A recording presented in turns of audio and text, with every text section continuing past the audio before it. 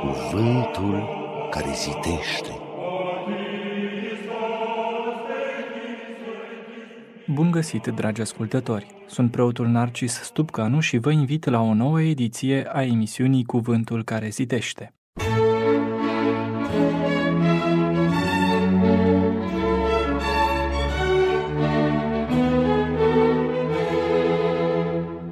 Dragi ascultători, ne străduim să ajungem mai aproape de Dumnezeu.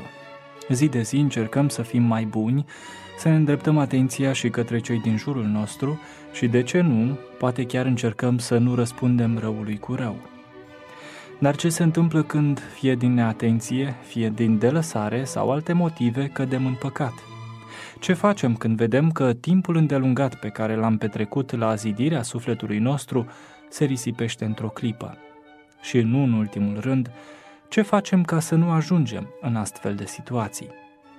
Rămâneți pe frecvențele Radio Trinitas și veți afla.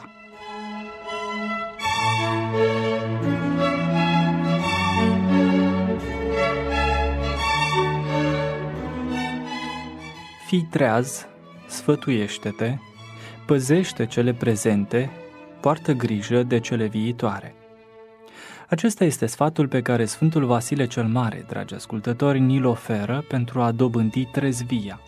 Ce este trezvia? Capacitatea omului de a fi permanent într-o stare de veche, o stare de conștientizare a ispitelor pe care le întâlnim la tot pasul, stare ce ne poate feri de atacurile acestora și care ne poate arăta la sfârșitul veacurilor precum fecioarele cele înțelepte, care s-au îngrijit de candelele lor ca să ardă până la sfârșit. Însă pentru a realiza acest lucru trebuie să ne pregătim. În starea de trezvie se poate ajunge mai întâi prin post și rugăciune. Acestea sunt mijloacele care ne pot ascuți mintea, dacă putem spune așa. Adică ne pot lumina în vremea încercărilor pentru a reuși să facem față ispitelor. Acesta ar fi începutul trezviei. Dar atenție, și de la acest nivel putem cădea.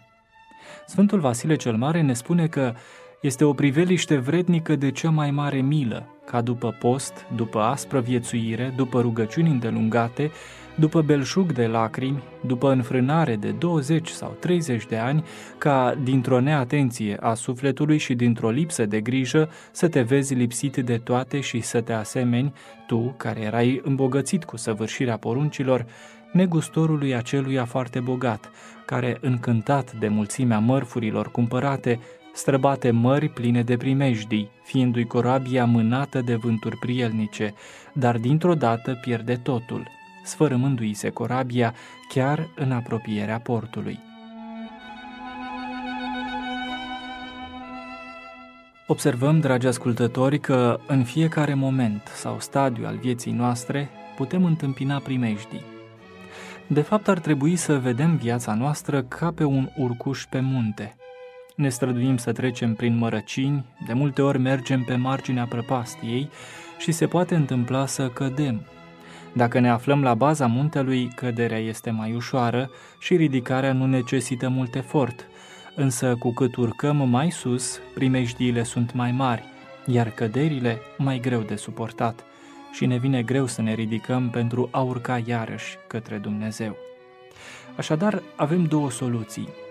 Fie suntem atenți pentru a nu cădea, iar dacă se întâmplă să cădem, trebuie neapărat să ne ridicăm, indiferent de gravitatea căderii, potrivit îndemnului, de câte ori vei cădea, scoală-te și te vei mântui.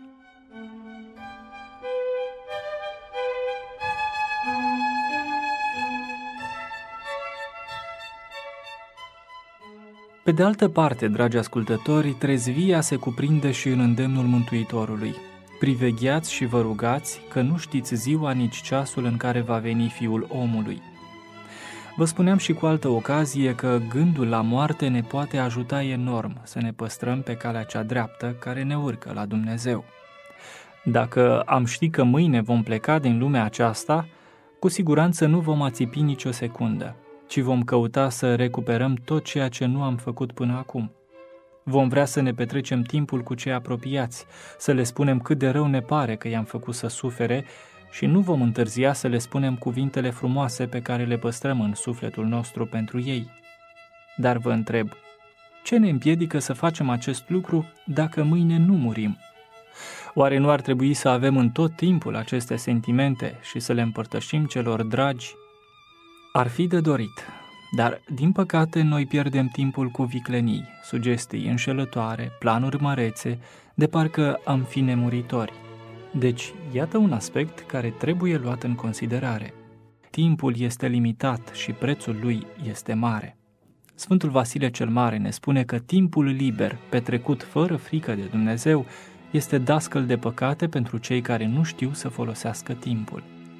Iar Sfântul Chiril al Alexandriei ne învață că trebuie să valorificăm timpul prezent în care ne putem folosi de noi înșine, căci zăbovirea în săvârșirea celor bune și întârzierea în gândirea la ceea ce este de folos se arată ca neavând în sine nimic folositor, ci pricinuind mai degrabă părerea de rău de pe urma lenei și a nepăsării.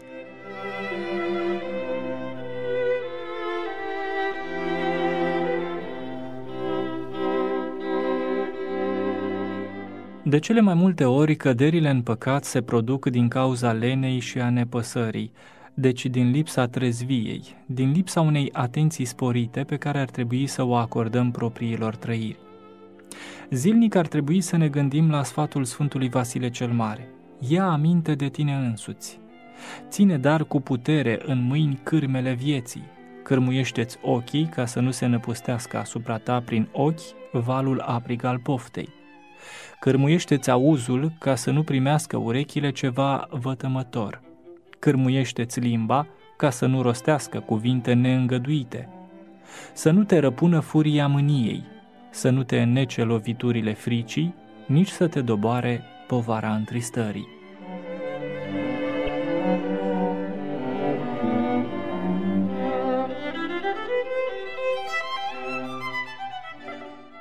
Observăm, dragi ascultători, că îndemnul Sfântului Vasile cel Mare este foarte cuprinzător.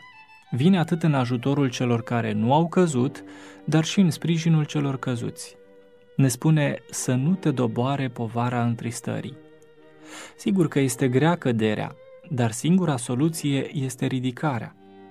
Mulți sfinți au căzut în păcate, dar au ajuns sfinți tocmai pentru că s-au ridicat. Deci chiar și în momentul căderii avem nevoie de trezvie. Trebuie să fim conștienți de starea noastră și să ne revenim în fire, angajându-ne toate forțele pentru a ajunge iarăși la starea din care am căzut. Pentru cei care nu au căzut și au reușit să ajungă mai aproape de Dumnezeu, Sfântul Vasile cel Mare le recomandă tot trezvia și le spune Ascetul pios un lucru să reflecteze – ca nu cumva viciul să se instaleze în sufletul lui din neglijență, ca nu cumva curățenia și atenția gândului către Dumnezeu să înceteze, ca nu cumva sfințenia Duhului și luminarea care vine de acolo în suflet să se întunece. Pentru că, dacă cele menționate se dezvoltă bine, pasiunile trupului nu vor găsi în niciun caz prilej să se trezească atunci când sufletul se îndeletnicește cu cele de mai sus și nu oferă prilej trupului pentru trezirea pasiunilor.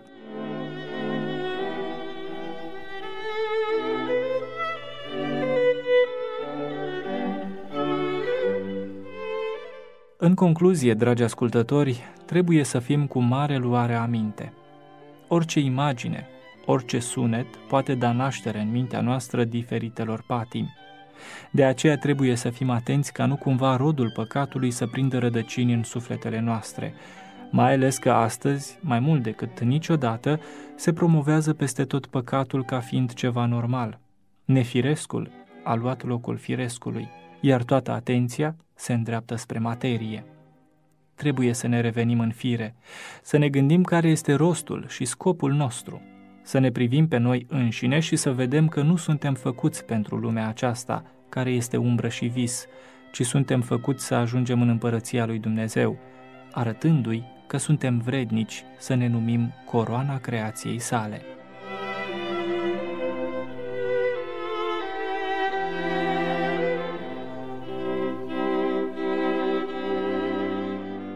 Aici a sfârșit ediția de astăzi a emisiunii Cuvântul care zidește. Sunt preotul Narcis Stupcanu, vă mulțumesc pentru atenția acordată și vă invit în final să meditați la cuvintele Sfântului Vasile cel Mare. Fii treaz, sfătuiește-te, păzește cele prezente, poartă grijă de cele viitoare. Thank you